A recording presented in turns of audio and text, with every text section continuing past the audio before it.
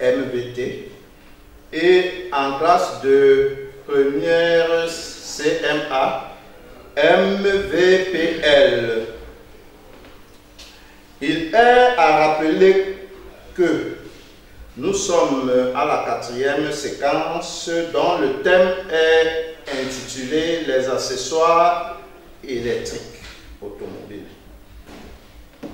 Cette séquence est à compétence générale et sera développée en trois séances.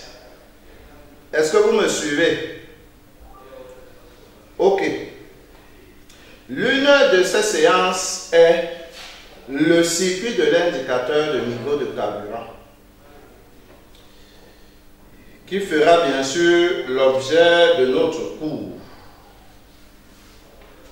Comme sommet de notre leçon, nous allons voir la description de ce circuit et juste après la description, nous allons parler du fonctionnement en ces trois étapes et après le fonctionnement, nous allons faire les activités d'intégration pour nous rassurer si vous avez compris la leçon ou pas.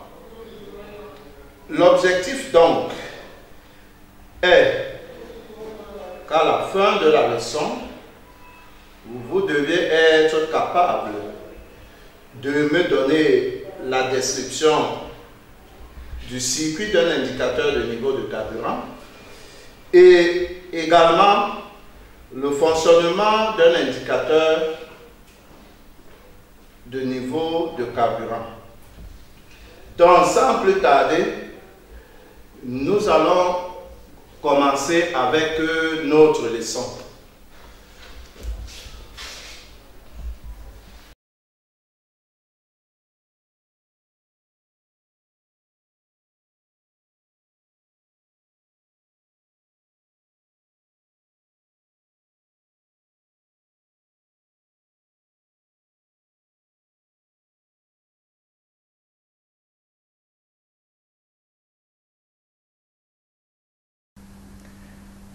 Après dans le schéma de l'alimentation du circuit, nous allons passer à l'indicateur.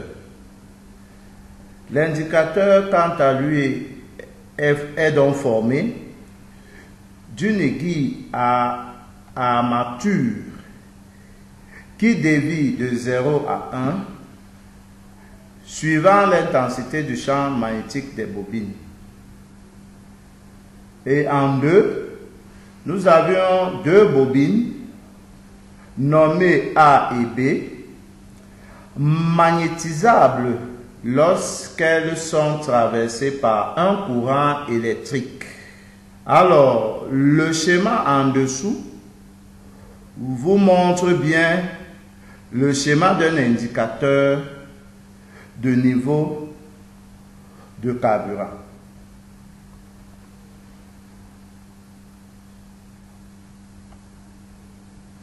Nous allons donc le décrire. En A, nous avions la bobine qui semble être identique à la bobine B. Les deux sont des bobines, mais qui ne dégagent pas le même champ magnétique. Nous avions plus haut des bobines de 0 à 1. La déviation 0 nous montre le niveau de carburant vide dans le réservoir et 1 nous montre le niveau de carburant plein dans le réservoir.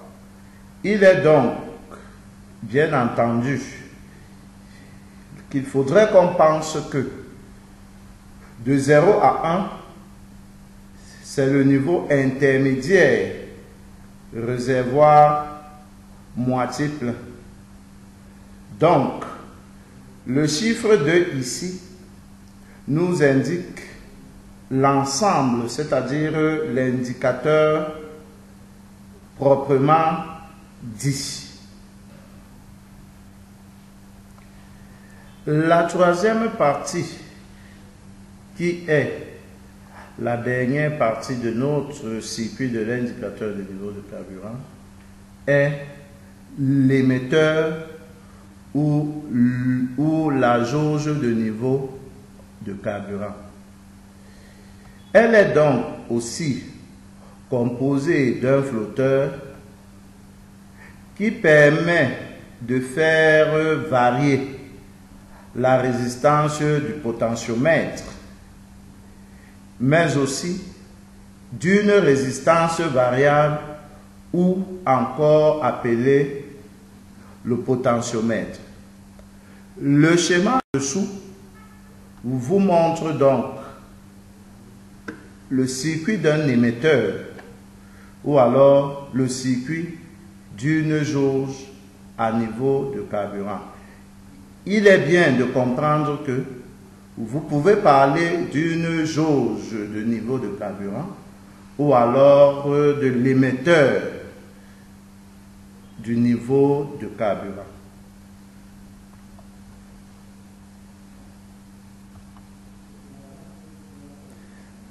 Alors, nous avions là à notre gauche un flotteur. Nous connaissons tous le rôle d'un flotteur, c'est-à-dire c'est lui qui vous permet d'avoir le niveau réel du carburant dans le réservoir. Alors, nous avions cet ensemble de résistance et du cuisseur qui constitue notre résistance variable ou encore appelée le potentiomètre. En trois donc, nous avions cet ensemble, cet ensemble qui est l'émetteur de niveau de... Il est donc bien de comprendre que la première partie qui était la description terminée, nous allons sur la deuxième partie. La deuxième partie nous parle du fonctionnement du circuit de l'indication ou alors de l'indicateur de niveau de carburant. Commençons par observer ce circuit de l'indicateur de niveau de carburant, afin de nommer ces différentes parties. Parce que nous allons nommer ces différentes parties. Observons donc le circuit. Nous avions là le schéma d'ensemble le schéma d'ensemble d'un indicateur de niveau de carburant. Ce schéma a plusieurs parties qui sont énumérées. Alors, nous allons donc indexer chaque numéro et donner le nom de cette partie concernée. Allons-y, nous avons le 1. Allons-y, allons-y ensemble, allons-y ensemble. Observez bien le chemin. Nous avions le 1. Le 1, c'est la masse. Le 1, c'est la masse. Allons-y, le 2. Le 2 est identique au 4. Le 2 est identique au 4. Le 2, c'est la bobine. Le 2, c'est la bobine. Alors, comme le 2 est identique au 4, nous allons dire que le 2 et le 4 sont des, bobines. Très bien. Le 3. Le 3. Le 3, c'est une aiguille à armature. Retenez bien le mot armature. Une aiguille à armature. Allons-y, le 5. Le 5. Nous avions les fils ou les câbles électriques. Le 5, nous avions les fils ou les câbles électriques. Le 6. Le 6, nous avions le contact. Nous avons le contact. Le 6, c'est le contact. Le 7, nous connaissons tous ça, ce symbole-là. Le 7, très bien, c'est la batterie. Le 7, c'est la batterie. Le 8, nous avions vu ça tout à l'heure. Nous avions vu tout à l'heure le 8. Ok, c'est une résistance variable. Une résistance variable. Si on ne veut pas parler d'une résistance variable, on parle de euh, on parle de du potentiomètre, très bien. Potentiomètre. Le 9, c'est le curseur de la résistance variable ou le curseur du potentiomètre. Le 10, le 10, alors là, je sais que tout le monde peut trouver. Le 10, le 10, non, arrêtez, arrêtez, arrêtez de sourire là. Donnez-moi le nom Le 10. Très bien. C'est le réservoir du carburant. Le 10, c'est le réservoir du, du carburant.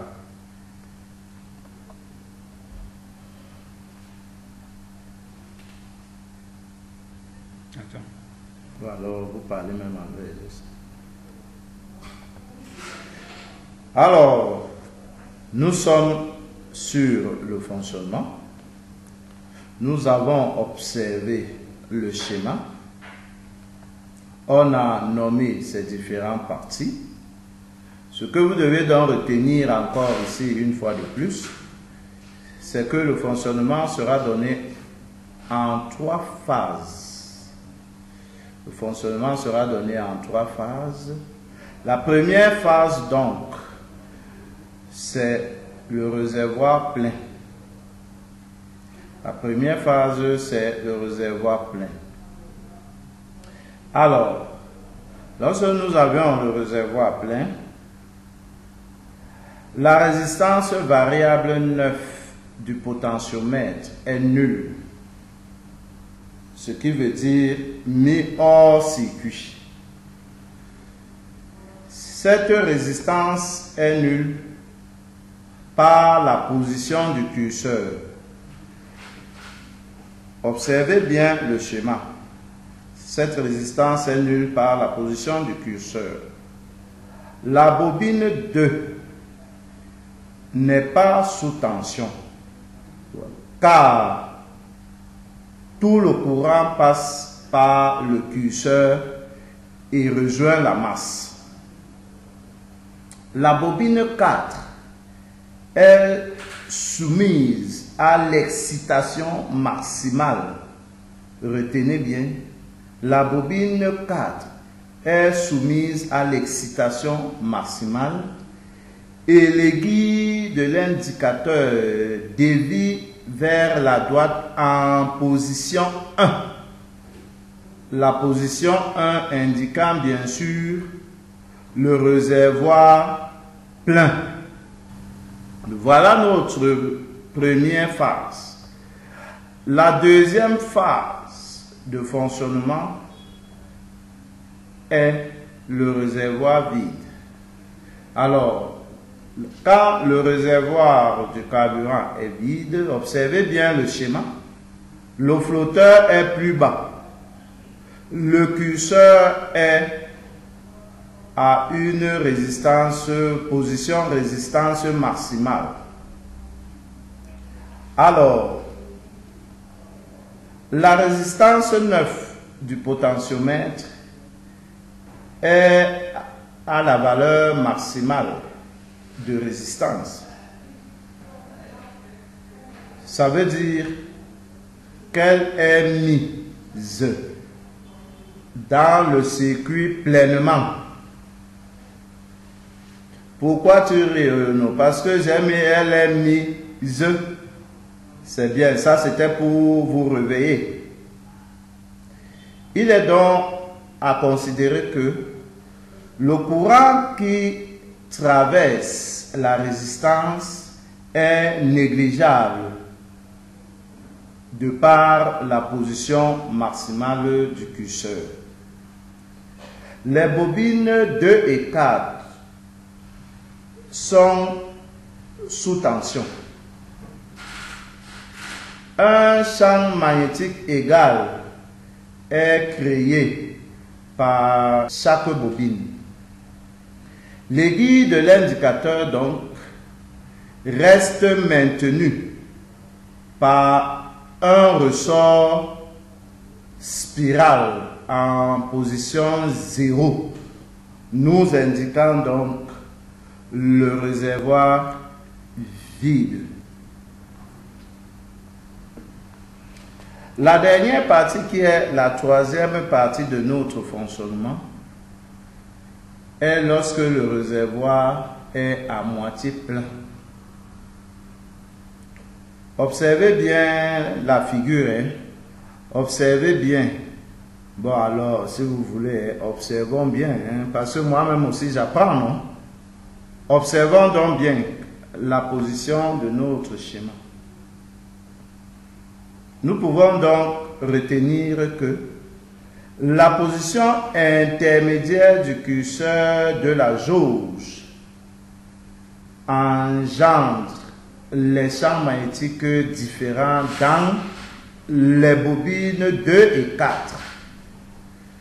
nous donnant ainsi la position intermédiaire de l'indicateur par rapport à la quantité de carburant dans le réservoir.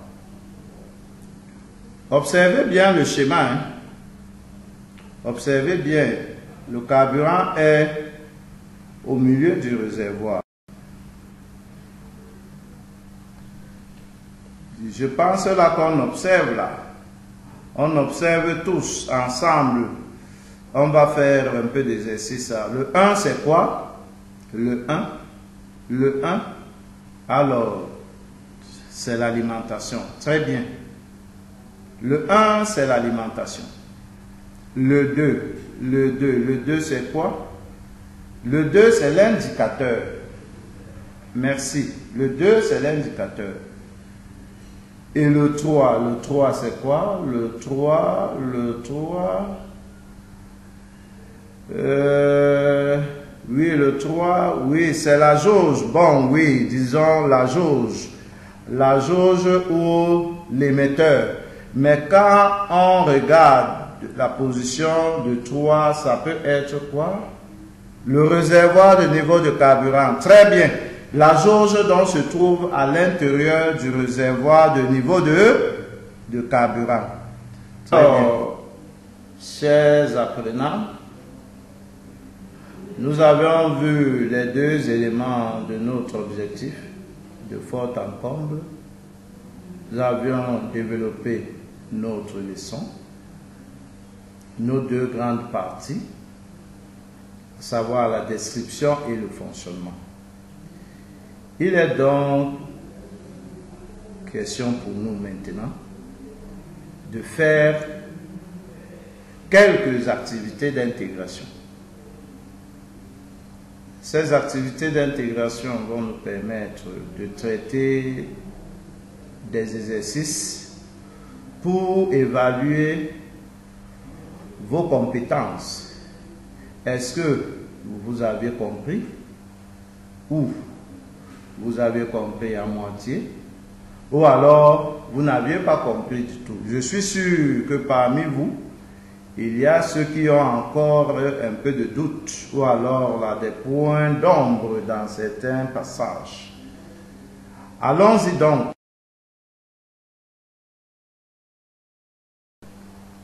Sur l'exercice d'application. L'exercice d'application. Observez ce schéma d'origine. Observez. Le schéma vous dit quelque chose. Observez. Observez. Observons ensemble. Observez. Observez bien le schéma. Est-ce qu'il y a un défaut sur le schéma? Est-ce qu'il y a un défaut? Je ne pense pas. Alors, les schémas qui vont suivre auront les défauts. À vous de détecter ces défauts et nous dire. On va donc remplir un tableau qui nous permettra de lister le défaut, de nommer le défaut et de dire sa manifestation. Et de dire sa manifestation. Alors, nous allons donc nommer la panne de ces schémas en dessous et faire des brefs commentaires. Des brefs commentaires sur la manifestation de l'indicateur de niveau de carburant et aussi un bref commentaire sur la manifestation de l'élément défectueux. Observez donc ce schéma, observons ensemble. On ne va pas remplir tout le tableau. On va prendre deux à trois schémas. On va compléter le tableau de panne, la colonne des pannes, la colonne des commentaires sur la manifestation de l'indicateur, mais aussi la colonne du commentaire sur la manifestation des éléments défectueux. Observons dans le schéma. Observons. Qui peut me dire la panne? Observez bien. Observez. Ne bavardez pas, observez. Qui peut me dire la panne? Qui peut nommer la panne? Regardez bien la partie alimentation, la partie indicateur et la partie émetteur. Qui peut me donner la panne? Ok. Ok. La résistance variable est en coupe-circuit. Regardez bien le vide qui est sur la résistance variable. Regardez bien. Hmm, attends. Regardez bien le vide qui est sur la résistance variable. On, voit, on observe, on apprécie qu'il y a eu un coupe-circuit. Alors, bref commentaire sur l'indicateur. Nous allons donc dire qu'il n'y a pas de position intermédiaire de l'indicateur ou pas de position réservoir à moitié plein. Et nous sommes là tous d'accord, non? Si le curseur se trouve à la position actuelle, nous aurons le plein réservoir. Mais quand le carburant va diminuer dans le réservoir, le curseur va retrouver la position du milieu où il y a le coupe-circuit de la résistance et il n'y aura aucun champ magnétique au niveau des deux bobines. Donc, qui va rentrer à la position 0, nous indiquant le réservoir vide, alors qu'au fond, le réservoir n'est pas vide. Toi, voilà le flotteur percé. Le flotteur est percé. Observez, vous voyez bien le vide au niveau du flotteur. Vous voyez bien un vide au niveau du flotteur. Voilà. Le flotteur est,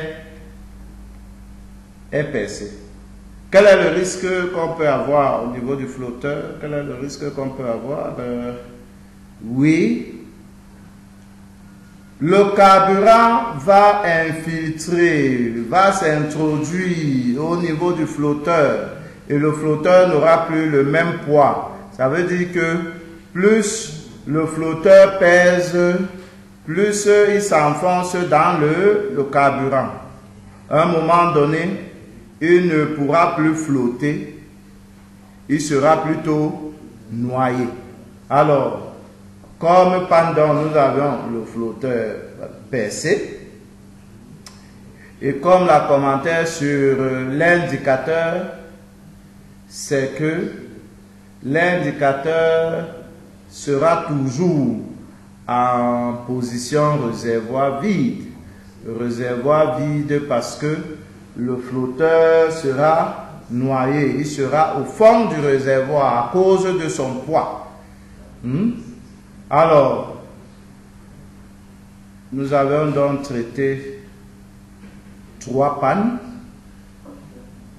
et le reste de travail à faire, vous allez rentrer me compléter ce tableau à la maison.